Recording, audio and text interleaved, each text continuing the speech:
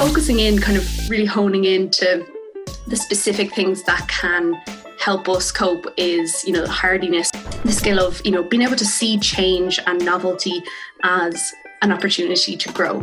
You know, not entertaining the, the kind of excessive negativity or catastrophizing. It's fine to have a destination, but if you're not paying attention to how you're supposed to get there, then yeah, you're just going for a nice little casual drive. you know, bringing your attention to really focus on something in the present moment. Hi everybody, and welcome to another Feel Good Friday. Um, this week I'm joined by business psychologist from Kinch Lyons, uh, Julie O'Sullivan. So, Julie, thank you very much for giving me or giving us your time today.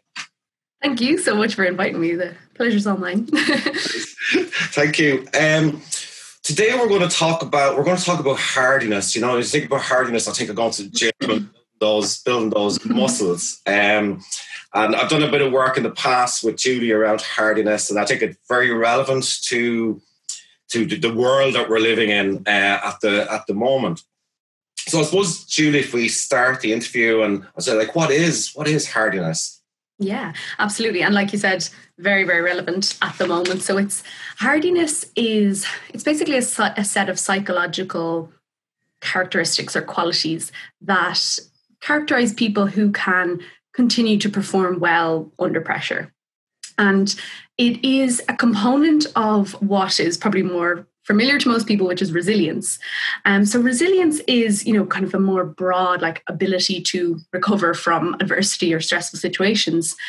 But I suppose resilience is, as I said, quite broad. It can be made up of a lot of different things. Some of some of which are within our control and some aren't. You know, like things like our personality, how we were brought up, our financial situation, our support system, all of those really tie into how well we can cope with stress and challenges. Um, but focusing in, kind of really honing into the specific things that can help us cope is you know hardiness which is made up of these three pillars. They're the, the three c's. So challenge control and commitment. Um, so as i said they do you know help us cope with um, difficult situations adversity stress. And it's a way for us to really kind of keep going through these difficult times. And i mean this has always been relevant in our world, but right now it is just, you know, really being put into the test. Um, so, yeah, absolutely. So, I suppose what we could do is just go through what each of those three C's look like or what they mean. Um, I can take think of other kind of yeah tips as well of how to how to develop them and everything like that. So, as I said, challenge, control, and commitment. Um, these are all skills basically that can be developed. So that's why I quite like focusing on them because you know it's not it's it's all within our control. Um, so the first one there is challenge, which is basically the skill of you know being able to see change and novelty as an opportunity to grow. Um, so it's it's similar to if you've ever come across a, a growth mindset, which is you know being able to like if someone has a growth mindset they see change or failure as okay what can i learn from this? Rather than oh that's a threat to my intelligence or that's the limit of my abilities. Um, so people who have this challenge mindset they're able to mindfully respond to challenges rather than just you know react with defensiveness. Um, so people who have this as well they're you know not expecting life to just be easy. They're willing to you know face those challenges head on. And they know that okay well things will work out in the end because i'm going to learn something from it or i'll, I'll gain something. Um, if someone was a bit lower in this again like i said you know if they if they experience failure they might see that as that's the limit to my abilities. Or when they're faced with change and uncertainty they might be more likely to go okay that's you know something to be avoided something to run from. Um, at the moment you know we can't really run from the amount of change that's going on. Um, so it's obviously really um, helpful to have this skill. Um, if you're trying to develop it, it's you know often a case of trying to adapt how you see the situation or maybe change your attitude towards things. So, for example, if you see, yeah, like you know, you're faced with big change or some kind of failure, things don't go your way, it's reminding yourself, okay, what can I learn from this? Um, what is the the benefit or the development that I've got from this, and reminding yourself that you know if if we want to develop skills that requires us to do something we've never done before. If we want to innovate or be creative, we have to risk failure because it's trying something new. Um, so reminding ourselves of that, embracing change and challenge, um, but also at the same time, you know, being realistic about the, the challenges that you can take on. Um, so I suppose it's that that balancing act of being willing to take on challenges, being willing to, to push ourselves outside of our comfort zone, but being realistic as well about it. Um, if there are uh, leaders as well who are trying to cultivate this within their team, I would say as well to to model that, you know, model fun in novelty, you know, and model that you see a value in change or new experiences for learning.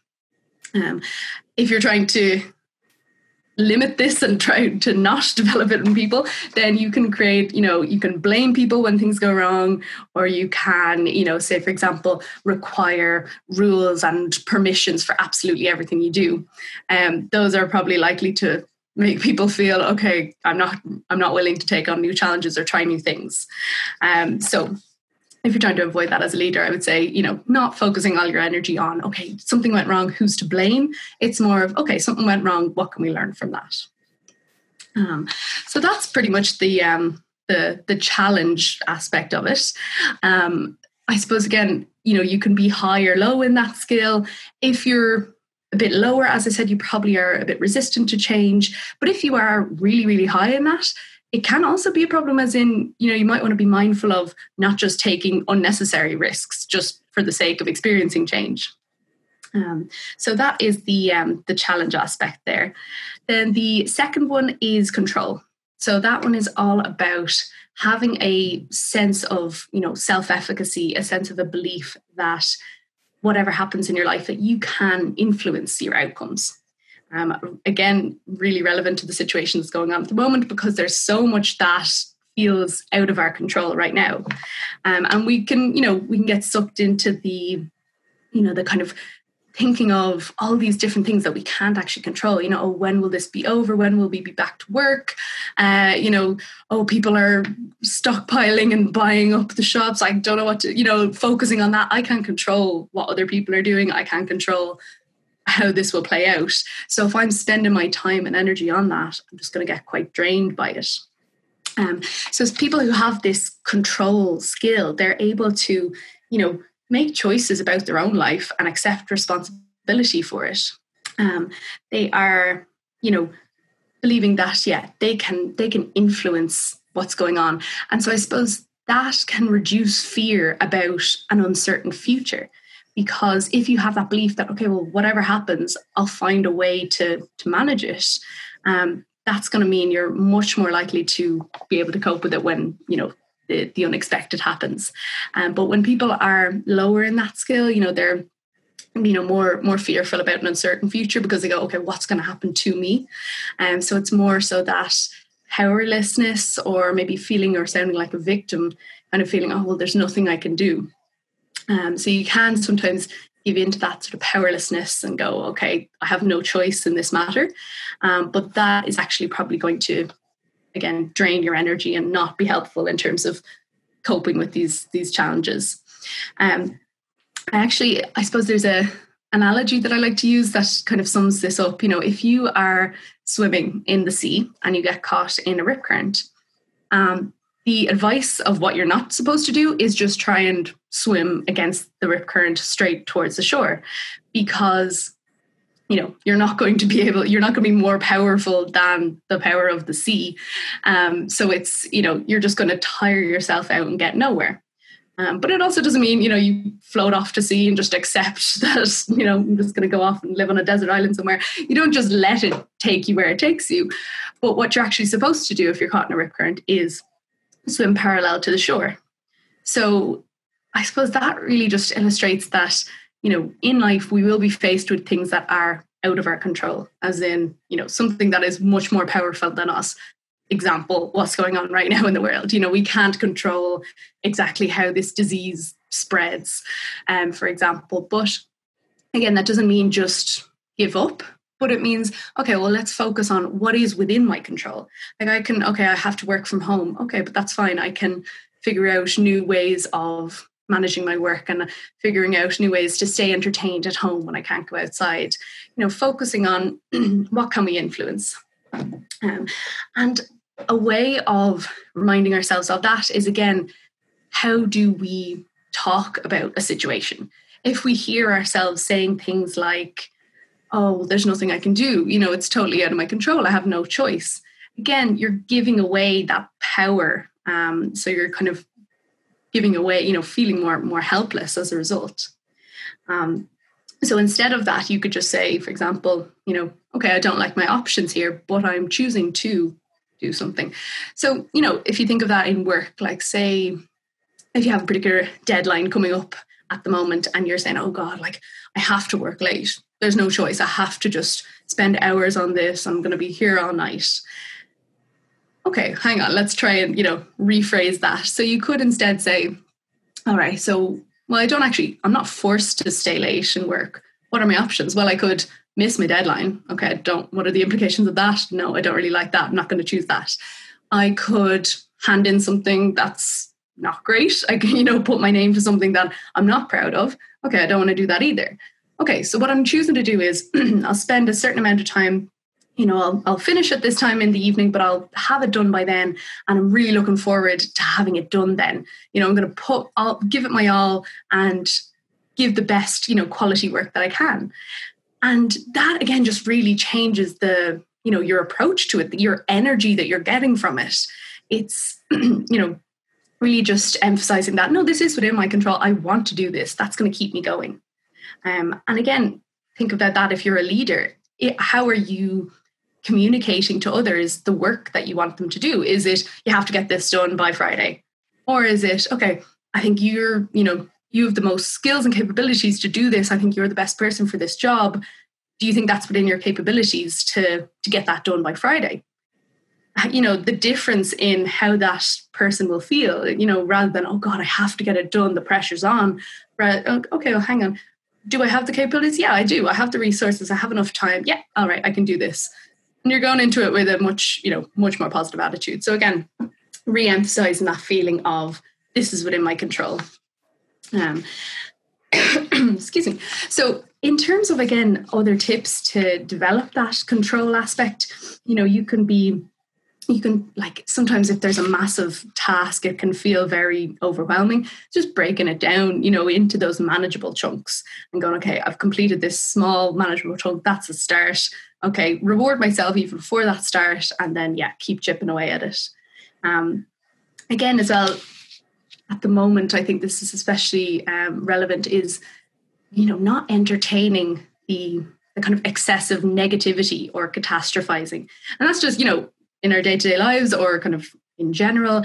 It could be coming from our own internal monologue or it could be coming from other people or the news. You know again focusing on right, i'm going to switch off from that or okay i'm going to notice how my my internal voice in my head is going really towards the negative. Let's try and bring it back. Let's you know look at the positives just just to give a balanced perspective.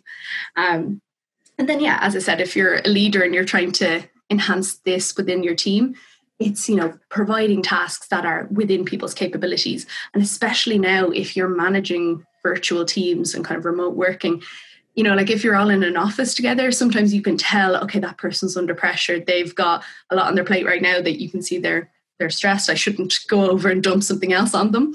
Um, but it's a lot harder now that we have those these kind of virtual teams that we might not have had before. So really consciously going is this something that you can get done this week or will I ask someone else or you know really just just consciously communicating is that you know asking is that within your control um, so that is the the second aspect of the three C's. Um, again, I mentioned in the last one, you know, it's great to have a high, well developed skill in this. But if this was, you know, a really, really strong strength, it might say, okay, be cautious about not trying to control everything, you know, not trying to go, hey, I will only try something if I know I can control all of the outcomes, because again, that might hold you back from trying new things. So then the third one is uh, commitment, which is basically being able to be engaged and seeing life, seeing different parts of your life as meaningful and interesting. So, people who have a, strong sense of this, they are striving to reach their full potential. You know, they're finding ways to make their life more interesting and meaningful.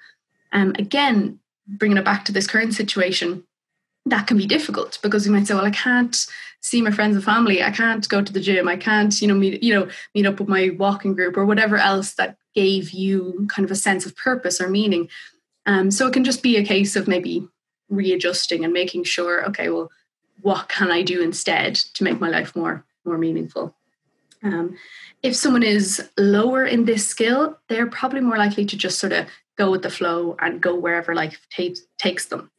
Um, rather than you know having a very clear purpose uh, or a meaning in life a kind of personal mission statement um, if they have that that's more likely to really keep them going through difficult times um, Viktor Frankl, who's a you know, he was someone who I think actually was in, mentioned in the last um, Feel Good Friday webinar that you did. Yeah, Declan. Yeah. Yeah, exactly. Yeah. Um, and actually, a lot of the stuff that he was mentioning does really tie into this, but it kind of bears repeating. You know what I mean? Like it's if it comes up again and again, that's because it works. You know, there's so much kind of research out there, and even you know, um, yeah. So again, he would Viktor Frankl would have said, you know, we detect our meaning in life rather than invent it. You know so again bearing in mind that it is a gradual process of figuring that out and constantly you know checking in and readjusting. Am i still living my purpose? Am i still you know on track for where i want to be? Um, because i think often people do go okay well when i retire i'll do this or oh if i won the lotto i would do that. Um, and it's all the kind of in the future i'll do this but why not now? You know, it's really just a case of your your actions today will have that impact on your retirement or you know what's happening in the future. And a good, I suppose, exercise to do is have a think about, you know, if it was my retirement party and I had a few, you know, four or five really close friends or close people that were really important in my career. And I was asking them, how have I impacted you? What would I like to hear them say? You know so really visualizing that like if they're saying okay I, you know I want to hear them say that I'm a hardworking person who, you know, always tried my best and was always there to support them. And, you know, whatever that is, whatever you want to hear them say, it's just about reminding yourself to do that each day. You know, so it's not about waiting until you get to that that end goal. Um, and this uh, this whole idea of commitment and purpose, it's kind of like, you know, if you've ever um, you know, if you have like a sat nav in your car and you put in, you know, the where you want to go, you pop in your you know, destination. Okay, that's where I want to end up. Um, but I've definitely done it myself. I'm sure you might have as well. But you kind of sometimes switch on to autopilot. You know, if you're driving around in a familiar area, you might not be actually looking at the GPS. And then you might go, oh, I actually missed a turn a few minutes back. And that's again just kind of an illustration of it's fine to have a destination, but if you're not paying attention to how you're supposed to get there, then yeah, you're just going for a nice little casual drive. you know, you're not actually getting there with with an intention. So it's really about yeah, being intentional about finding your your purpose and your drive. So I think that it's really important when you're trying to develop this to, you know, take a minute out and actually reflect, is this what I want to be doing? Is this, you know, giving me meaning is this true to my values is it aligned with all that? Um you know taking time out because again we can get caught up in that busyness of this is what i have to do every day. But yeah actually taking a minute to go well hang on is it what i actually really want to be doing? Um when you figure out what what's most important to you then commit to that you know and share that commitment with others. Um, i think as well you know really making time for what's most important. Because often we say oh well you know if i had more time i would do this. Well just make time you know obviously easier said than done for some some things but yeah make time. Like if you were you know really busy in work but your dishwasher just suddenly broke down and the kitchen is flooded you wouldn't go oh i'm actually really busy it would work right now so i'll just leave that for tomorrow. You know you you find the time you make time for those urgent priorities. So it's just about making the things that are most important in your life, making those an urgent priority, and you'll find the time for them. Um, so yeah, and then as I said, yeah, you're figuring out, you know, what's most important. How do I get there? Um, when it comes to, you know, if you're a leader and you're trying to foster this in your team, it'd be a case of, you know, supporting individual development. Like if they express an interest, try and nurture that if you can. You know, if they're kind of going, oh, I'd love to do this training, rather than jumping to, oh, we don't have the budget or we don't have the time, you know, just try and even think outside the box. Is there a way that you can support that, their individual individual development? Um, also, you know, if they accomplish something to really recognize and praise that, again, it might kind of encourage that and going, okay, that's that that was a, a, useful thing that I did. You know, that's been recognized. Brilliant. I'll do it again. Um, and also then, you know, if you were trying to say, for example, if you were trying to diminish it as a leader, if you weren't trying to have people committed, you could just, you know, keep your own purpose or mission to yourself and not communicate it with other people. Um, it's difficult for people to stay committed to something if they don't know where they're going. You know if they don't know what the end goal is you might be really excited and passionate about something but you have if you haven't fully commu- communicated that to others then yeah they're they're less likely to be as committed and engaged as you are um, in terms of the uh, the commitment just if you know again being high on that is great as a, as a skill but if you are too high in it you could be you know so immersed in your activities that you lose sight of the bigger picture um, so that will be something that you can kind of keep in mind if you're high in any of those skills. And with all of those, you know, they work best um, as you know, it's like it's like a bar stool. There's three of them. If you take one away, not as sturdy. You know, it, they work best when they're in balance with each other. So again, if you're really high in control but really low in challenge, then you might be you know less likely to take on new things because you're trying to control absolutely everything so you know they can kind of work against each other um, so that is pretty much hardiness in a nutshell, the three C's. Um, Yeah. Great. So, like, very positive message there. Like, is it like you getting a uh, challenge, commitment, control, but to see that we can, the control that we actually like, we've, we've got to control ourselves. Yeah. Uh, and we we all have the power. Um, and I suppose there's sometimes things happen and we take the knock. But I suppose again, it's that bounceability. It's that bouncing bouncing back piece. Um, Absolutely, yeah. And you know, and, and, yeah. and, we're born to bounce back. You know, we're we're we're, we're born to bounce back. Absolutely.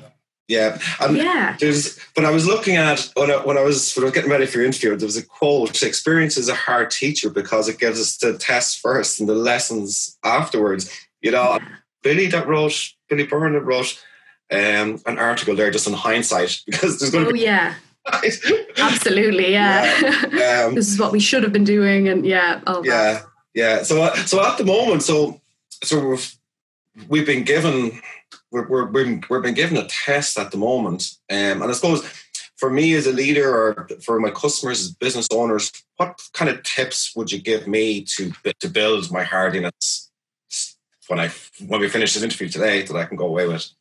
Yeah. So I suppose it's get and just to kind of reiterate that often it is about changing how you view a situation, first of all. You know, if you change the viewing, you can change the doing, basically. You know, changing that initial appraisal, again, it might be panic initially, that's okay.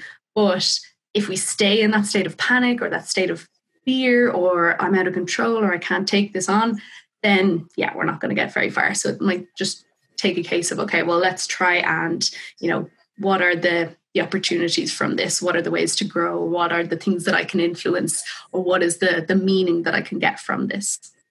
So yeah i think first step is probably just changing how you see view a situation. Um, i would say as well yeah the the language that you use to describe what's happening to you right now do tune into that you know and really listen to what um yeah, how are you describing it? And again, like I said, if you're using that kind of language of I'm powerless right now. I have, you know, there's no hope. There's no, you know, I can't, I can't uh, deal with this.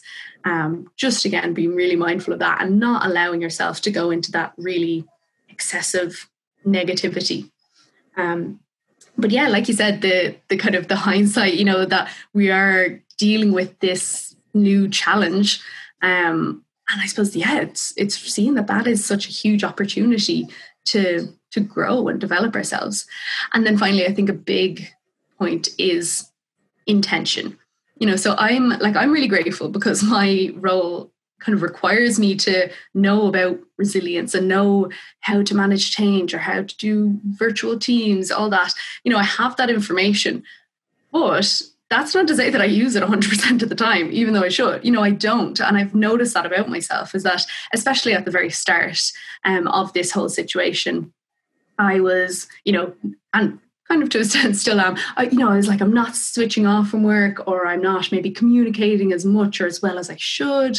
Uh, I'm, you know, allowing myself to get sucked into the negativity, constantly checking the news, everything like that. And yeah, so it's it's you might know these things. And I mean, what I'm talking about here, it's not rocket science. Like we kind of know that this is how we can cope better. A lot of us know these things, but it's just about intention and actually being mindful about what we're actually doing. Um, and when I say mindfulness as well, like sometimes people kind of think, mindfulness you know oh i'm not going to sit and do a bit of meditation and you know go off and sit on the top of a mountain and you know meditate but actually mindful just is mindful is like doing something like intentionally you know bringing your attitude or in, bringing your attention to really focus on something in the present moment. You know it's not about uh, not necessarily about having to focus on your breathing or anything like that. It can just be like what am i actually doing and why you know? Um so like i said you know we often have you know we know how to deal with stress or we know these these coping strategies um, but actually putting it into practice there can sometimes be that gap between what we know and what we actually do um, so i think that really comes from intention yeah um, Great, so lo- lovely information, um, Julie. So uh, I really, really, really appreciate your time uh, today. Yeah. Um, and, and, and again, as I just emphasize, there's a very positive message there that you everything that we can do, um, and and I suppose the other piece is so everything that we can do, even though we're going through this pandemic now, um, tools that we can carry through right through our life you know absolutely yeah and like we've been you know working on this kind of thing since you know long before this whole pandemic has happened um, but yeah like you mentioned it is quite a, a positive message and this whole side of psychology, like resilience and well being and meaning, it comes from positive psychology. And I suppose, well, just to explain for, for anyone who doesn't know and explain what it's not, you know, positive psychology is not just, oh, just think positively. You know, um, that can be quite annoying when you're, you know, dealing with a lot of stress someone to go, oh, it'll be fine, it'll work out, just think positive. And um, so it's not that. And it's also not, you know, pop psychology, which would just be, you know, the kind of airy fairy sort of not based on a lot of science, just kind of a fad that comes in that people, you know, jump on and jump on a trend. Um, but no, positive psychology is really that science behind high performance, you know, and that ties in so much with, you know, what I do in business psychology, but also say like sports psychology, you know, it's okay, you have the skills, but how do we get even further? How do we make sure our team is really cohesive? How do we, you know, perform at our absolute optimal level, cope with the pressures of, you know, when we're under under you know under scrutiny how do we continue to perform um so, so like positive psychology it it's kind of been a, a, bit of a change from say traditional psychology which you know in the past it would have been very focused on what's wrong with you. You know what are the illnesses or problems that you're dealing with? Okay let's try and get you from bad to normal whatever that means. But you know that kind of thing it's kind of taking it from okay focusing on what's wrong with you. But then positive psychology sort of a shift in how we viewed it was well what about you know people who are doing good how do we get to great? Um you know and again like all of these you might have i think everyone has some level of hardiness or resilience or they have some ways of coping with these kind of um, you know difficult situations but it's just a case of really being able to enhance it and focus on what's working well what are the strengths that i can leverage in order to be really high performing and really thrive rather than just survive. You know, I think uh, when this initially hit, everyone was like, okay, survival mode. Um, but now it's more a case of how do I actually thrive and work really well in this, you know, new normal, as people keep saying. Um, but yeah, exactly. So I think it is. It's more just focusing on rather than what are the problems. It's you know because problem talk will really create problem. They'll create more problems, but then that solution talk, focusing on what strengths I have, that can create the solutions. Great, uh, Julie. Well, thanks a million for your time. Uh, really, really appreciate it. Said loads of lessons there for me, for my customers, for our team. Um, so yeah, so thank you, thank you, Julie. And yeah, uh, thanks so much for having me. we'll we'll catch up soon. Yeah, absolutely. Thanks. Okay, thank you, Julie.